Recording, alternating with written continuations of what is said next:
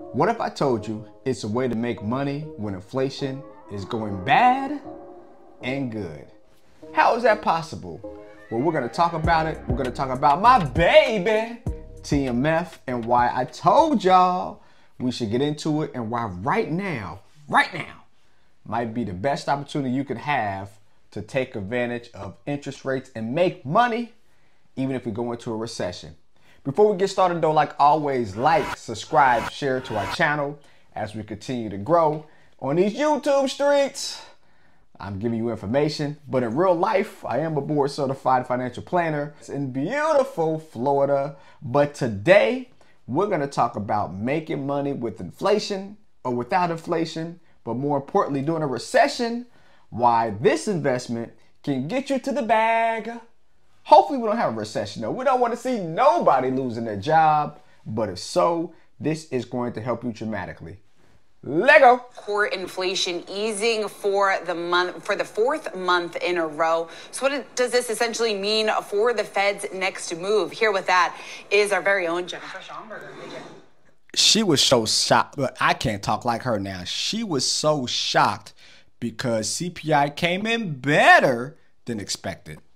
Good morning, Seana. This morning's CPI report offers the Federal Reserve the progress they want to see on inflation, giving the central bank more good data to cut rates in September. Here are three things that we learned. Cut rates, my baby, TMF.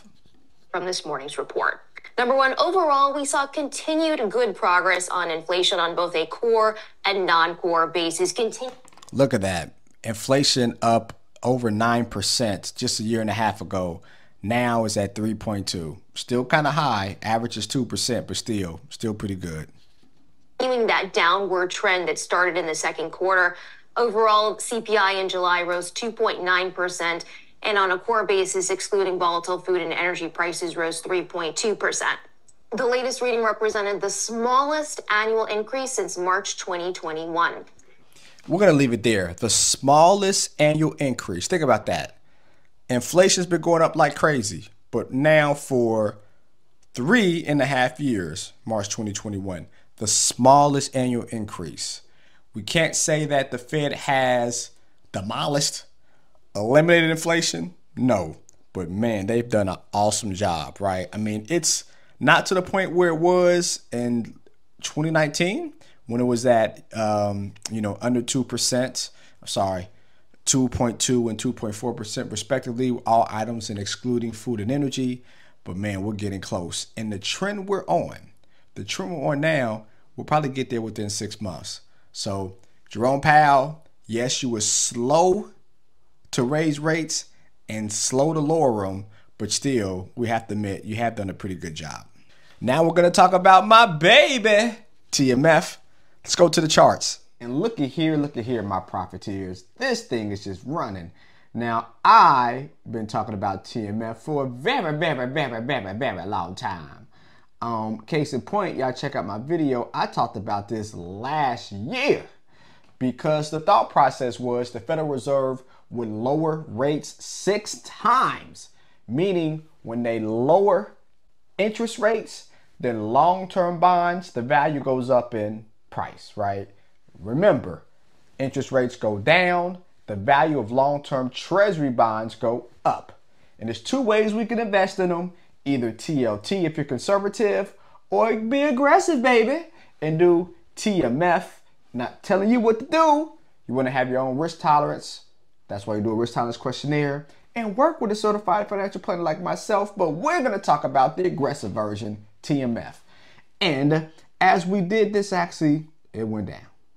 It went down. We looked at it. Actually, for my clients, we invested this back October of last year. And look at this, y'all. Look at this. Now, we did it uh, the last week of October, so we're not at the bottom, right? But look at these Bollinger Bands. What Bollinger Bands are, right? When it's down, this is the best time to buy, best time to sell. So we bought here. And look at that.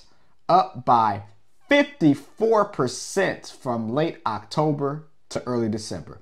Now, we didn't get out then, right? We did get out though um, in the um, high 50s, right? 59 to be exact, but it's basically about a 35% return.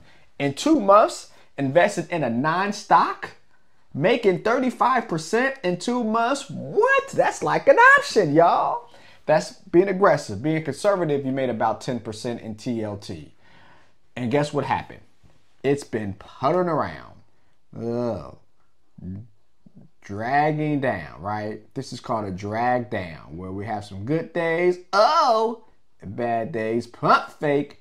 And what happens, right? Our lows get make it bigger, pause, pause, pause, pause on that one. Super pause. But as you can see, right, lows get lower. And here, this was the opportunity. I didn't get in here for clients, but this was the opportunity to get in as we hit the Bollinger Bands. Again, basically the sell zone, theoretically speaking, buy zone. Basically, too much overbuying, too much overselling. So here, oh, one week down by 9%. Ooh, second week down by 4%. Ooh, then 4%, then 3 Man, that's almost 20%. Correction, you got it. And it would have been correct to buy it right here. If you did back in April, look at there, look at there, 40. Uh, right now you are at 37%. For my clients, we didn't buy it there though, right? But we did buy it though. Uh, we bought it in early May, um, 46. But 46 now, still a 24% return from May to August. S&P 500 though, since uh, we'll say July. I, I, we did this for our clients in June. Let's say you was late to the ball, and now in July we got in. Look at this. Look at this. Doop. And we look at July. 1.125%. 100,000 we made now, of course, we had a drop. It's recovering though, but 1.23%. Russell 2000, uh, but now we look at the um, S&P 500, now the Nasdaq, same thing, right? Same time period. Whoop. We look, we look, we look since July. What you done since July, my profiteers, right? Down by 3.25%. Was a lot worse. So again, S&P 500 since July up by 1, NASDAQ down by 3. But my baby, look at here, look at here, profiteers. We actually do this since July, July, July. Up 14.9, let's just say 15%. So my property is this is why we take advantage of the Fed lowering interest rates. Recession sucks for people as investors. A safer way because historically, treasuries and bonds are a safer investment than stocks. And over the past few months, and over the past really six months, if you listen to me, and when I talked about TMF all these last eight months, since October to be exact, you, my profiteers, nice ride. Now, throughout the whole time from October to today, has the S&P 500 and Nasdaq done better? Yes, because Jerome Powell pump faked us with interest rates going down. But we adapted. How do we adapt? It's because when it slowly but surely went down, we got out. And then we got back in. Not at the bottom. Nobody, I mean, nobody gets in at the bottom. But we did a pretty good job, though, for May having that swing. And I believe, my profiteers, we have some room to run. Uh, the next indication, as we can see, the next kind of hit on the Bollinger Band where it spiked is at 65. Oof, going from now to 65, that is another 12% return. Now, my profiteers, will that happen? Mm. I think by the end of next year, this is going to get to 100. Yes, my profiteers, 100. Why do we say that? We're going to have predicted wise six rate cuts. And typically for every rate cut, historically, historically, you get a 10 to 15% run up on TMF. And when it comes to TLT, a 2 to 3% run up.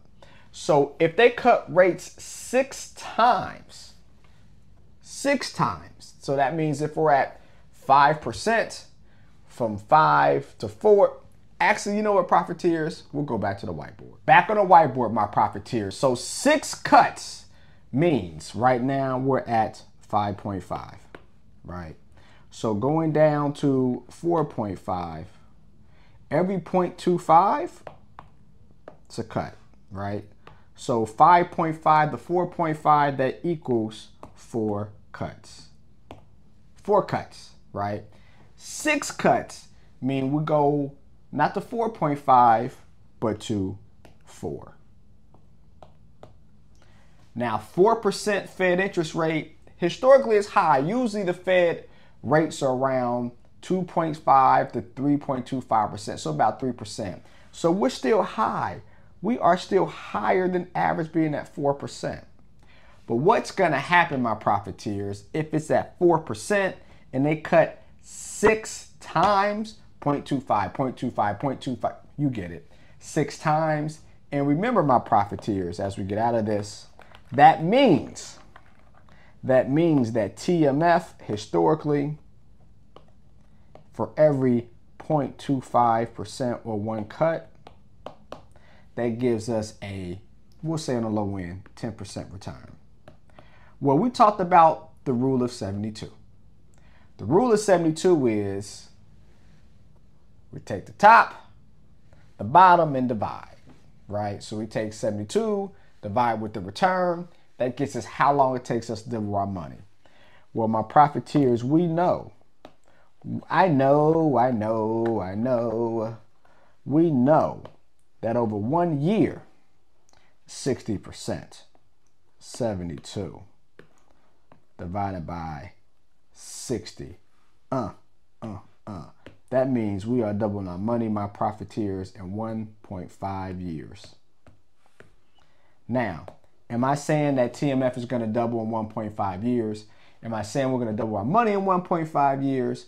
But if history repeats itself and every single time the Fed cuts, TMF goes up by at least 10%, we're looking to double my money in 1.5 years. And with a recession possibly coming next year or 2026, hopefully it does not. I'm not predicting it, just saying it's a 25% chance per Goldman Sachs.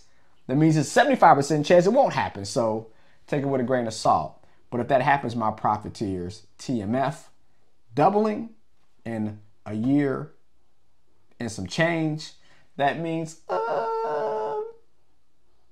a year. What is it? July, August. So basically, October of next year, TMF doubles.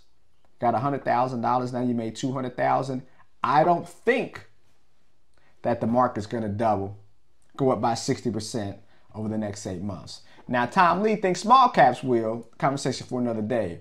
But a safer, not safe, but a safer way to invest if we have an upcoming recession or if interest rates go down. That happens, my baby, TMF.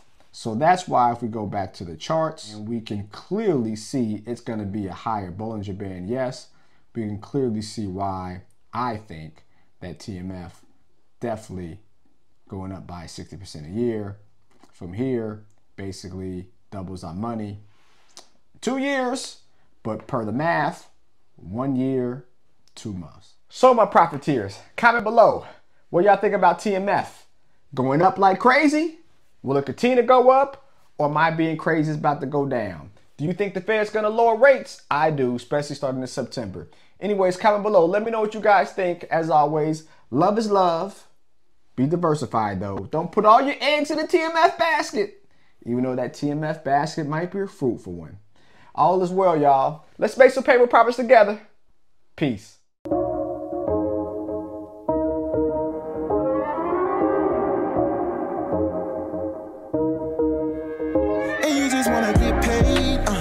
Making the money mistakes. Make a payment on your bills and you still late. Yeah, Payneful Profits to help you seek change. Uh, and you just wanna get paid. Yeah, tired of making no money mistakes. Make a payment on your bills and you still late. Uh, Payneful Profits to help you seek change. Yeah, cut the show and just listen. You wanna feel empowered by making money decisions. Residual by the hours can get you a better living. Uh, been check to check, you knowing it could be different. You know.